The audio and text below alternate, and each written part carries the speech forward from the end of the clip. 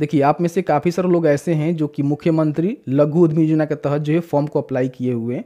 तो आप सभी जानते हैं कि 20 फरवरी 2024 को शाम के पाँच बजे इनका जो एप्लीकेशन फॉर्म है, उसको बंद कर दिया गया, जैसे क्लोज कर दिया गया। अब जो है फॉर्म को आप नहीं भर सकते हैं 2023-24 सेशन के लिए। अब जो है 25 चौबीस पच्चीस के लिए फॉर्म फिलअप होगा तो उसके लिए हम अलग वीडियो लाएँगे। लेकिन जिन्होंने फॉर्म को भर लिया हुआ है, उनका जो है सिलेक्शन कैसे होगा, कब उनको पैसे मिलेंगे, किस तरह से पैसे मिलेंगे एक्चुअल में कितने लोगों का सिलेक्शन होने की संभावना है, इस वीडियो में हमने कवर किया हुआ है। तो प्लीज़ वीडियो शुरू से अंत तक लेकर ज़रूर देखेंगे, और वीडियो थोड़ा सा अच्छा लगे तो प्लीज़ वीडियो को लाइक कर देंगे, क्योंकि आपका एक लाइक मुझे बहुत ज़्यादा मोटिवेट करता है। तो चलिए आज का वीडियो शुरू करते हैं। देखिए, जैसे कि आप देख सकते हैं कि बिहार लघु उद्यम योजना का जो ऑफिशियल पोर्टल है, यहाँ पे आप देखेंगे तो 20 फरवरी 2024 को शाम के पाँच बजे इनका जो आवेदन है उसको बंद कर दिया गया है। तो ऐसे में जो है अब यहाँ पे आप फॉर्म को नहीं भर सकते हैं क्योंकि पूरी तरह से आपका अप्लीकेशन फॉर्म जो यहाँ पे बंद कर दिया गया है। अब यहाँ पे हम बात करते हैं कि जिन्होंने फॉर्म को भरा हुआ है, उनका जो है सिलेक्शन किस प्रकार से होगा, किस प्रकार से उनको पैसे मिलेंगे, ठीक है? तो उसके लिए करना क्या है, यहाँ पे सबसे पहले आपको easy to net dot com search करना है। फ़र्स्ट में आपको easy to net dot com का जो ऑफिशियल वेबसाइट है देखने को मिलेगा, जिसको यहाँ से ओपन कर लेंगे, ठीक है?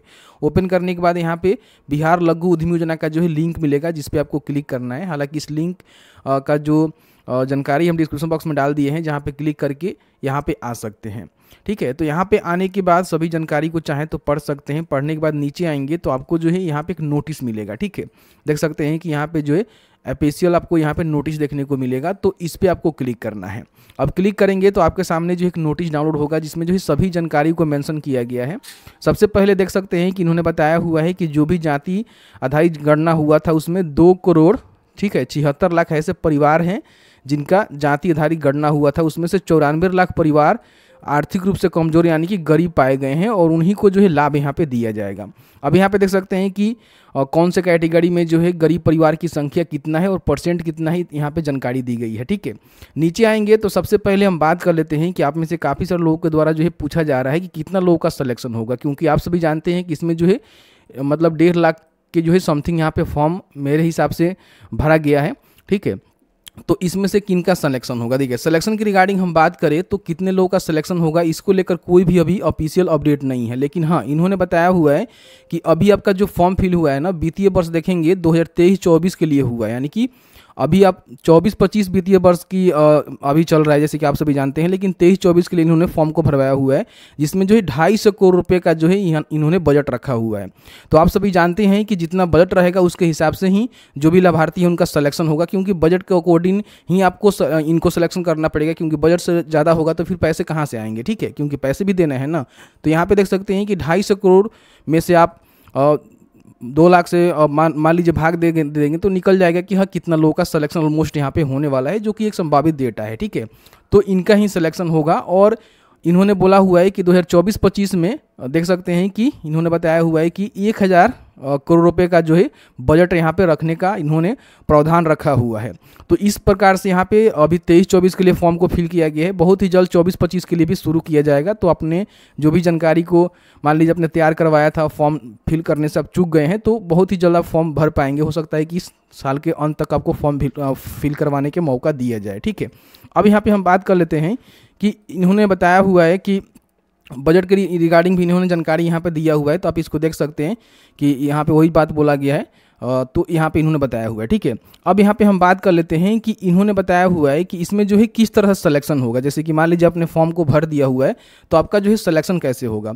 तो सलेक्शन की रिगार्डिंग उन्होंने जानकारी दिया हुआ है कि यहाँ पे थोड़ा सा नीचे आएँगे, देखिए यहाँ पे बोला गया है, सभी जानकारी को दिया गया है कि जो भी आपका सलेक्शन होगा, जैसे कि मान लीजिए आपने फॉर्म को अप्लाई कर दिया सही प्रकार से अपने सारे एप्लीकेशन फॉर्म में मांगी गई जानकारी को भर के अपने फॉर्म को अप्लाई कर दिया।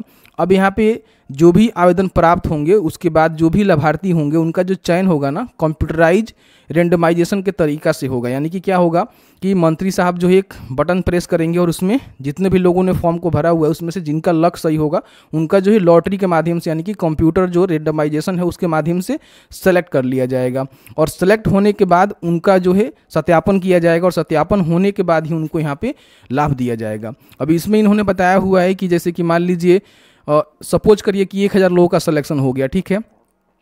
हम सपोज़ करने के लिए बोल रहे हैं, ये कोई डेटा नहीं है, एक हज़ार लोगों का सिलेक्शन हो गया तो उसमें से बीस परसेंट लोगों का जो है वेटिंग लिस्ट में जानकारी यहाँ पर रखी जाएगी। जैसे कि मान लीजिए जो भी लोग सिलेक्ट होंगे वो सभी लोग को तो पैसा मिलेगा नहीं, क्योंकि उसमें से काफ़ी सारे लोगों ने डॉक्यूमेंट गलत दिया होगा, या फिर फॉर्म को गलत भरा होगा, या फिर कोई ना कोई प्रॉब्लम होगा।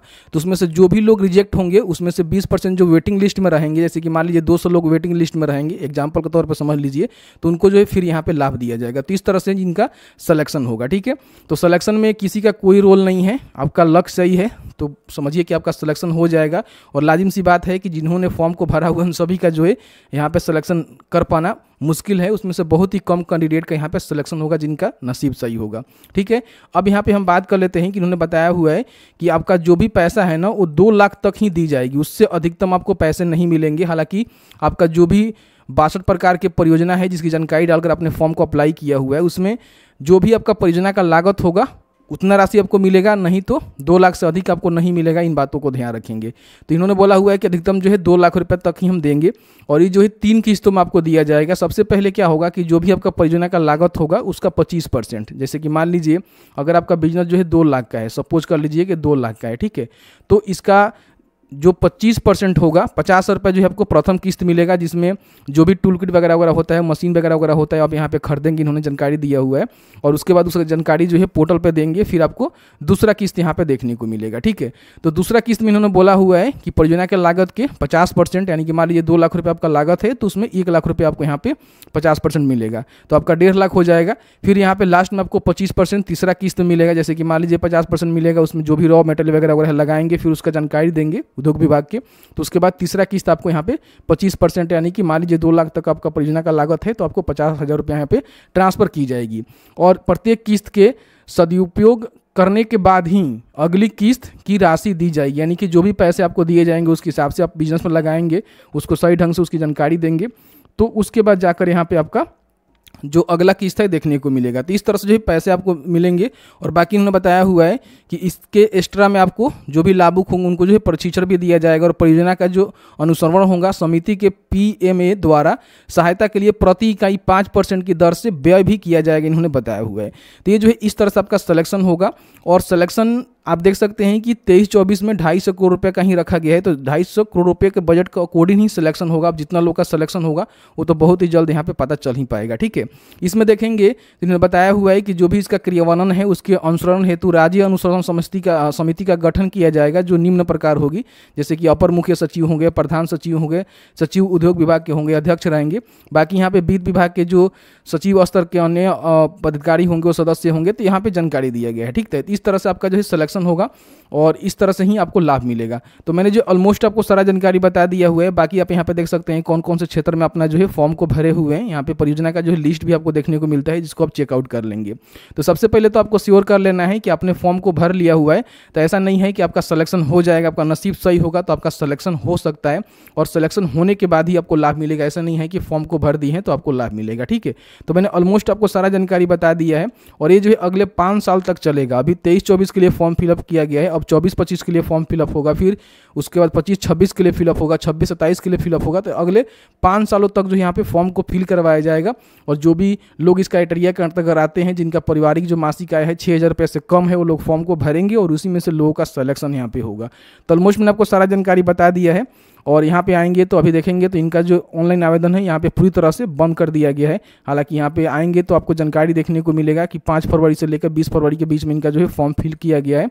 और यहाँ पे आप पंजीकरण के बटन पर क्लिक करेंगे तो आप यहाँ पर देखेंगे रजिस्टर आपका नहीं होगा, ठीक है? देख सकते हैं कि यहाँ पर रजिस्ट्रेशन नहीं हो रहा है। तो पूरी तरह से इनका जो एप्लीकेशन फॉर्म है, यहाँ पे बीस दो दो को शाम के पाँच बजे ही बंद कर दिया गया है। तो जैसे कि आपने देखा कि मैंने जो है सभी जानकारी को इस वीडियो में बताने की कोशिश किया हुआ है। उम्मीद करते हैं कि ऑफिशियल नोटिफिकेशन के से ही आपको जानकारी समझ में आ गया होगा। फिर भी आपके मन में किसी प्रकार कोई सवाल होगा तो आप हमें नीचे कमेंट सेक्शन में कमेंट करके पूछ सकते हैं, जहाँ तक मेरी नॉलेज होगी आपको बताने की कोशिश की जाएगी। वीडियो देखने के लिए बहुत बहुत धन्यवाद।